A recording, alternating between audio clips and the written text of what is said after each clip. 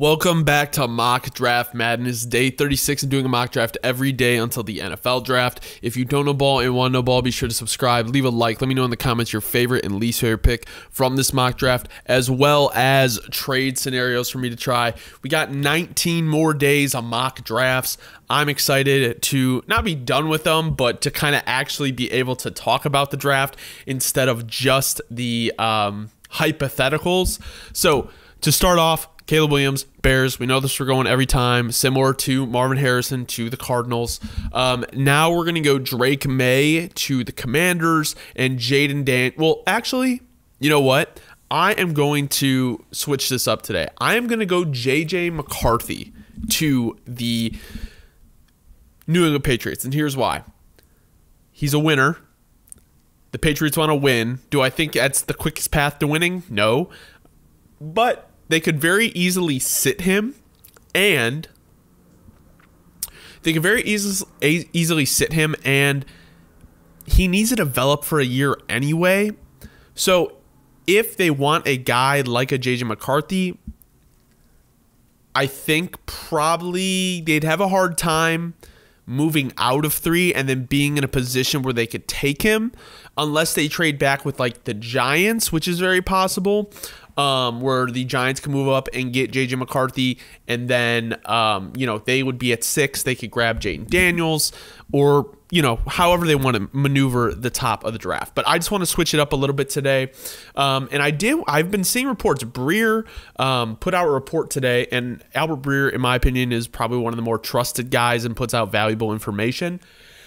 He was basically saying that outside of Caleb Williams, Michael Penix is actually viewed by some teams, I don't know how many teams, but by some teams as like the number two quarterback. So we're going to mess around a little bit here. Um, and I think I'm going to do a very quarterback heavy mock today. So at number four, we're going to go Arizona Cardinals. At number five, I'm going to leave it here and I'm going to give the Los Angeles Chargers Malik Nabers. At number six, the Giants are going to be able to get Jayden Daniels to work with Brian Daboll, who I actually think Jayden Daniels, this might be like one of the better positions for him. I know he hasn't played well under pressure, but I also think that there is a reality where, you know,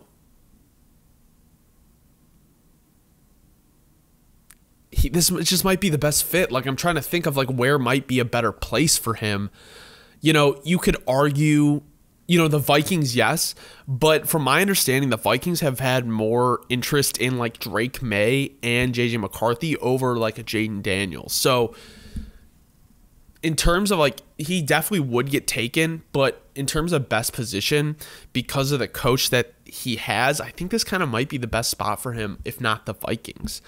At number seven, we have the Tennessee Titans. I am going to give them Joe Alt.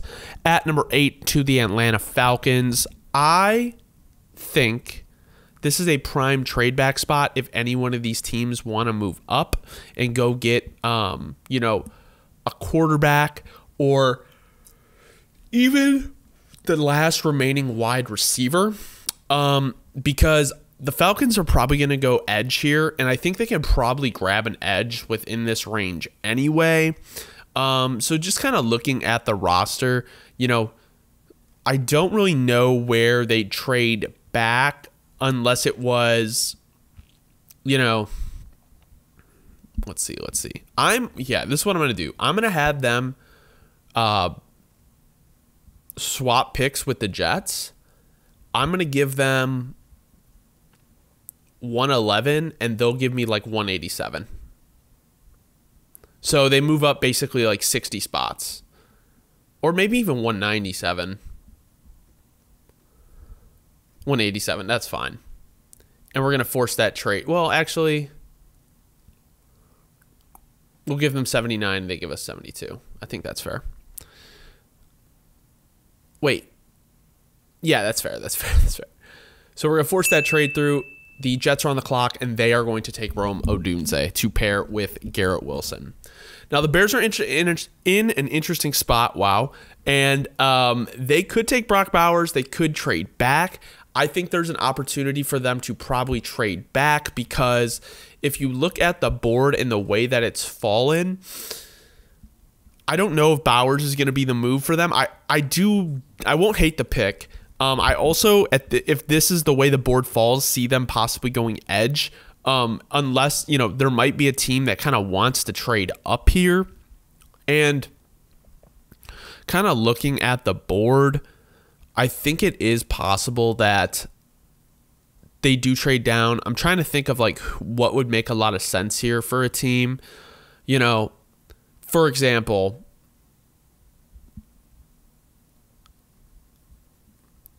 the Raiders do need like a right tackle.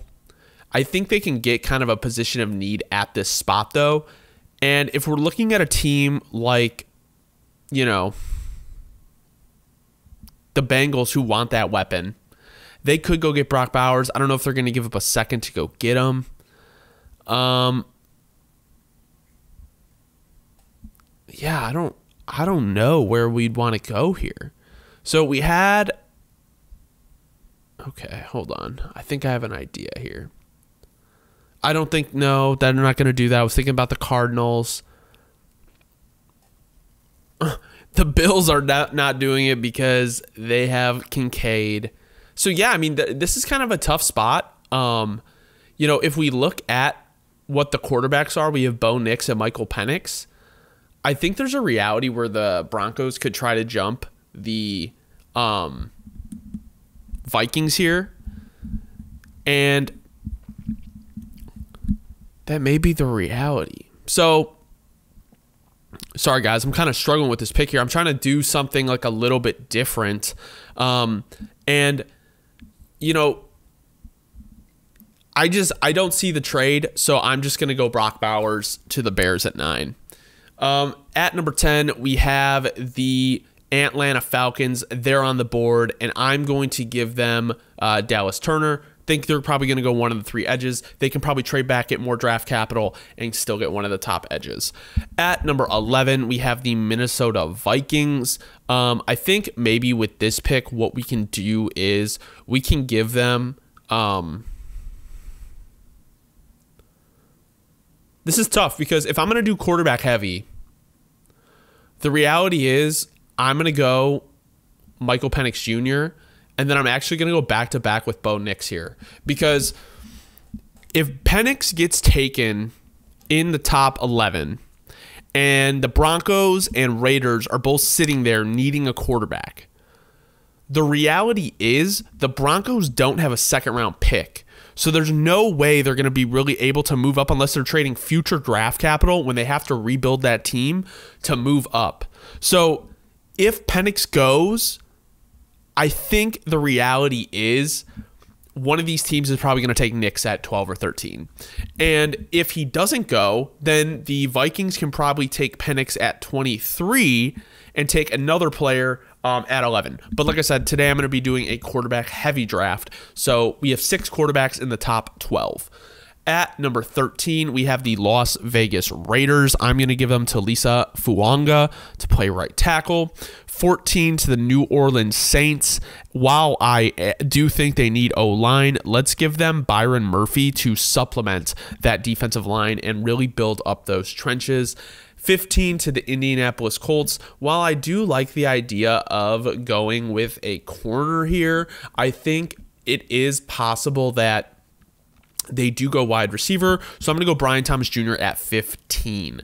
At number 16, we have the Seattle Seahawks. I think they're also a prime trade back candidate more into this area. Um, so what I'm going to do is I am just going to have the Cowboys come up here. Where are the Cowboys? And they can probably come and get. Ooh, they have a big gap from. So maybe not the Cowboys. I'm trying to think of a team that would want to come up for Fashanu. You know, yeah, yeah, yeah. Let's do that. Let's do that little swap here. Well, who does? I mean, like,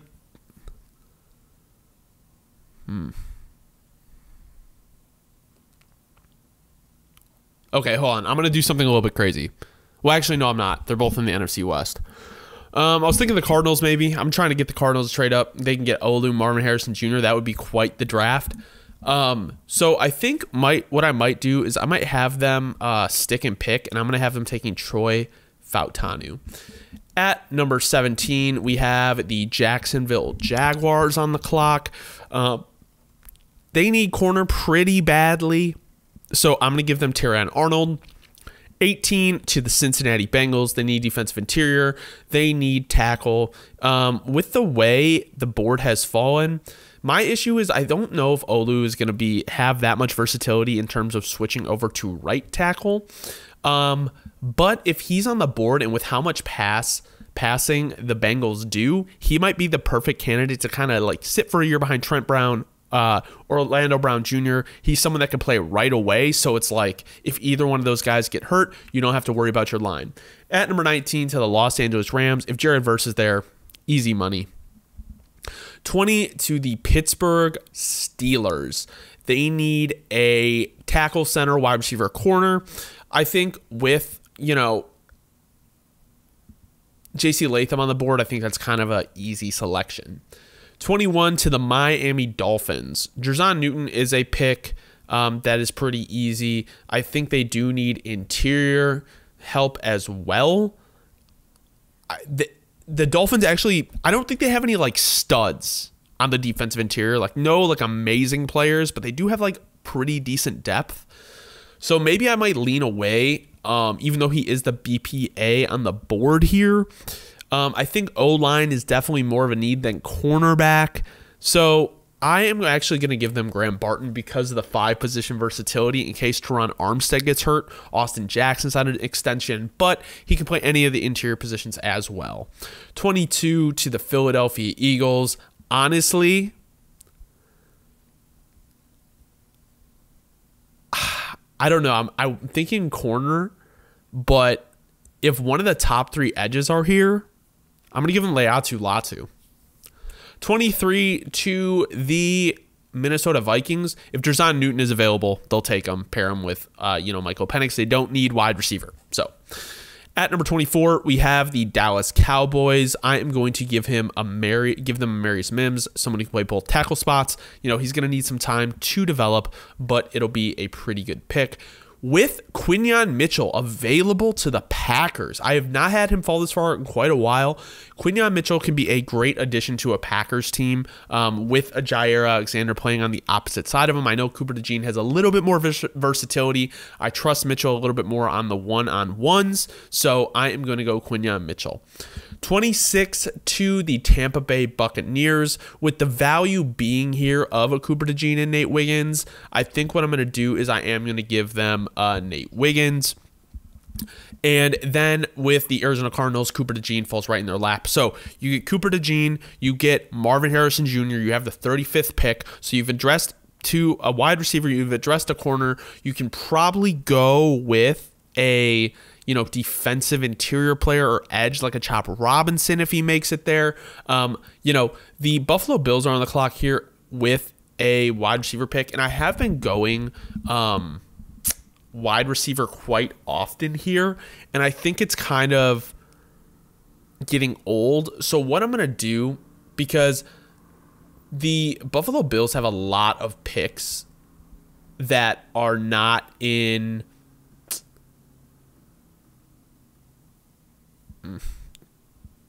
Mm-mm-mm. I'm not liking this. They need wide receiver. In the next, yeah, they like have to go Adonai Mitchell, right? Or do they go with a guy like Ladd McConkey? I'm gonna. I've had them going Adonai Mitchell, so I'm gonna go Ladd here.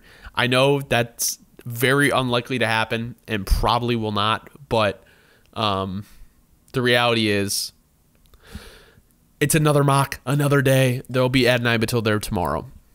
So 29 to the Detroit Lions. If Jackson Powers Johnson is there for them, Dan Campbell will probably run in the pick himself because of his interior versatility. They need a plan at center and they need a guard spot filled. So, Jax Powers Johnson is a physical player that Dan Campbell will love. Um, so, with Adonai Mitchell here, the Baltimore Ravens are going to take him easily to pair him with um, Zay Flowers. I think that would be a great addition for the Ravens.